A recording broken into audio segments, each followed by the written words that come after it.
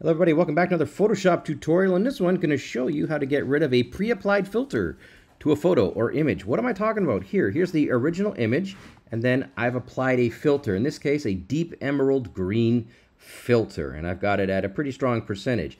How would I, if I got this picture and I was working on a website, for example, and I wanted to get rid of the green filter and get back to the original image, and I did not have a layered document, here's how you can do it using just Photoshop. Let me show you. So here's an example now of what that uh, image looks like.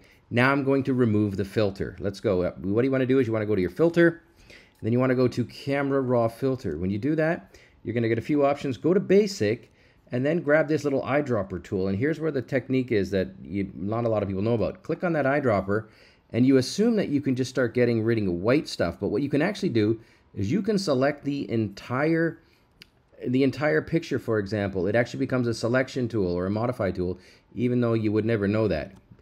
Do that, and now look what's happened. It's removed the white balance automatically. And you can see it here. It's changed white balance, part of me, to remove the tint and adjust the temperature. Now, I don't think it quite went quite far enough, so I would add in a little more yellow, and I might just change it a little bit here. If I click on OK, for example, there we go. Here's now the filter removed.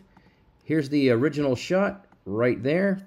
Filter removed. It's very, very similar. You can add in some small adjustments to get there, but that's how you do it using basically one click. Thanks for watching.